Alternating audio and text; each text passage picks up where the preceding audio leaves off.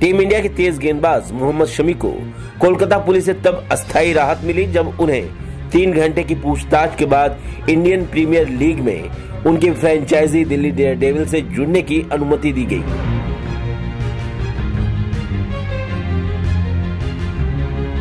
उनकी पत्नी द्वारा उनके खिलाफ घरेलू हिंसा और व्याभिचार के कई मामले दर्ज किए जाने के बाद कोलकाता पुलिस ने शमी को समन भेजा था। उन्हें 16 अप्रैल को ईडन गार्डन्स में कोलकाता नाइट राइडर्स के खिलाफ दिल्ली के आईपीएल मैच के बाद कोलकाता में रोक लिया गया था।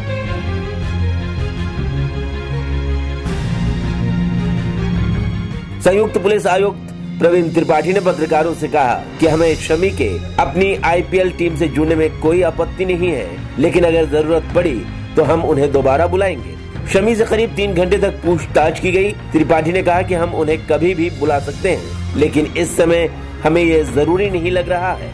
वह इस मामले में पूरी तरह से सहयोग कर रहे हैं।